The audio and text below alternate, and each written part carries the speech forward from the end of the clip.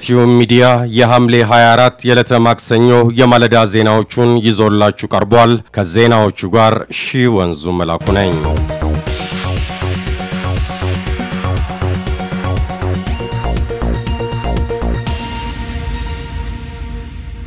ግንቡን እናፍርስ ድልድዩን እንገንባ በሚል መሪ ቃል በሚኔሶታ ታላቅ መድረክ ተካሄደ። ግንቡን እናፍርስ ድልድዩን እንገንባ በሚል መሪ ቃል በተካሄደው የኢፌዴሪ ጠቅላይ ሚኒስትር ዶክተር አብይ አህመድ የሰሜን አሜሪካ ጉዞ ትላንት ማምሻውን በሚኔሶታ ታላቅ መድረክ ተካሂደዋል። በአካባቢው የሚገኙ በሺዎች የሚቆጠሩ ኢትዮጵያውያንን ባሰባሰበው በዚህ መድረክ ላይ የኢፌዴሪ ጠቅላይ ሚኒስትር ዶክተር አብይ አህመድ፣ የኦሮሚያ ብሔራዊ ክልላዊ መንግስት ርዕሰ መስተዳደር አቶ ለማ መገርሳና የኢፌዴሪ የውጭ ጉዳይ ሚኒስትር ዶክተር ወርቅነህ ገበየሁ ተገኝተዋል።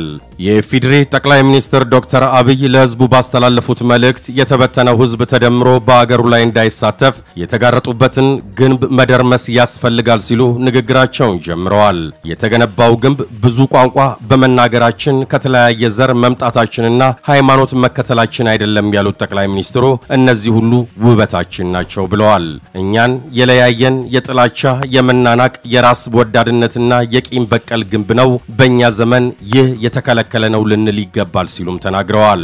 በአሜሪካ የመደመር ጉዞ በዋሽንግተን ዲሲና ሎስ አንጀለስ ድልድዩ እንደፈረሰና በሚኒሶታ ደግሞ ፍርስራሹ መጠረጉን በመድረኩ ላይ ጀዋር መሐመድን በማቀፍ ተምሳሌታዊ በሆነ መንገድ አብስረዋል።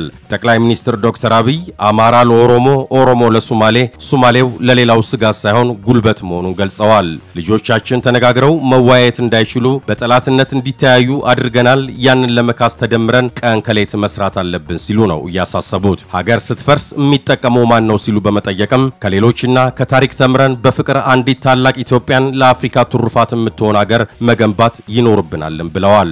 የኦሮሚያ ብሔራዊ ክልላዊ መንግስት ርዕሰ መስተዳድር አቶ ለማ መገርሳ በበኩላቸው ዘር፣ ሃይማኖት ሳይገድበን እንዲህ በአማረ ሁኔታ መገናኘታችን ያስደስታል ሲሉ የተሰማቸውን ደስታ ገልጸዋል። የምንወዳትን ኢትዮጵያ ለመለወጥ እያንዳንዳችን ኢትዮጵያን መለወጥ አንዳችን ከሌላችን መደመርና ማሰብ አለብን። ይህን ስንጀምር የምንመኛት ኢትዮጵያ የጠነከረች ትሆናለች ብለዋል። አቶ ለማ ኦሮሞነት፣ አማራነት፣ ሶማሌነትና መላው ሕዝብ ለኢትዮጵያ ስጋት ሳይሆኑ አቅም፣ ጉልበት፣ ሀብትና ውበት እንደሆኑም በመናገር ከመለያየት ውርደት እንጂ ጥቅም እንደሌለ ነው ያስረዱት። በሚኒሶታ ከ60 ሺህ የሚልቁ ኢትዮጵያውያን ይኖራሉ ተብሎ ይታመናል። በመጨረሻም ጠቅላይ ሚኒስትር ዶክተር አብይ አህመድ በመድረኩ መዝጊያ ላይ ይህን ሕዝብ የሚያገለግል የቆንጽላ ጽሕፈት ቤት በዚያው እንደሚከፈት አብስረዋል ሲል የዘገበው ኤፍቢሲ ነው። ማንነትን መሰረት አድርጎ የሚፈጸም ጥቃትን የትግራይ ክልል መንግስት አወገዘ። የትግራይ ብሔራዊ ክልላዊ መንግስት ጣና በለስ የስኳር ፕሮጀክት ይሰሩ በነበሩ የትግራይ ተወላጆች ላይ የደረሰውን ጥቃት አውግዟል።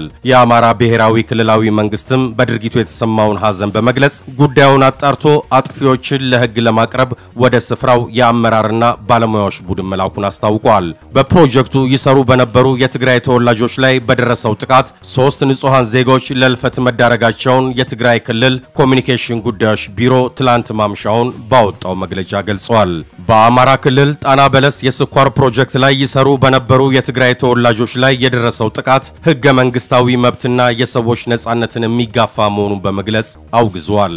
የሀሳብ ልዩነት ካለ ሰላማዊ በሆነ መንገድ መግለጽ እየተሻለ ዘርን በመለየት የሚደረገው ጥቃት በማንኛውም መለኪያ ተቀባይነት ሊኖረው አይገባም ብለዋል።